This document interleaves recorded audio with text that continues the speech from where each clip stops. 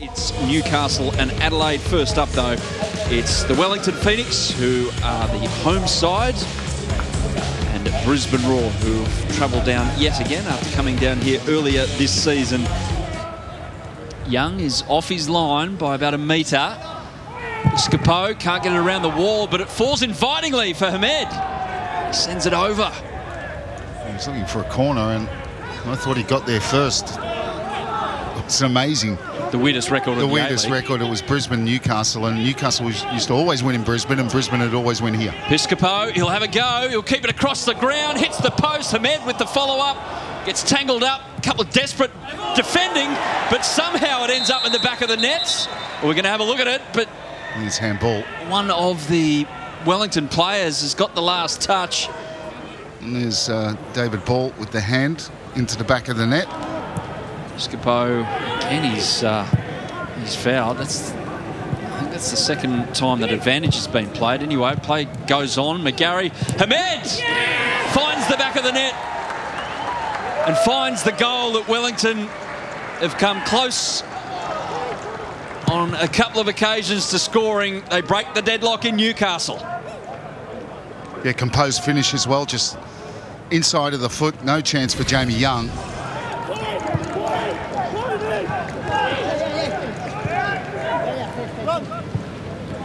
Set up again here, Brisbane. Wins the in a heap of space. He can go with his left foot. Just around the corner. Perhaps Sail had it covered. Yeah, it certainly had Sail worried though, scrambling across the face of goal. Wenzel-Halls picks it up, got in space, and I think he thought about hitting it with his right. When Warren Moon made a change against Brisbane, uh, against Melbourne victory in the second game of the season, it worked. As Wellington go forward, Sotirio has intelligently stayed on side here. Gillespie was the one to allow it, and Sotirio, that had Jamie Young worried. It certainly did. Flash past that far post.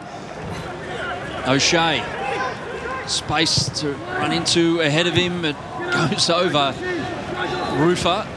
Sotirio can't get there in front of Brown, who won the ball. Sotirio stays down, crosses in. They're lining up, and they've got the equaliser with his first touch. Goal, goal, Mebrahtu.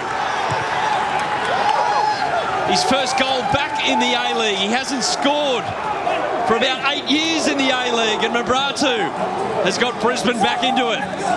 Well, it's the best cross they've produced.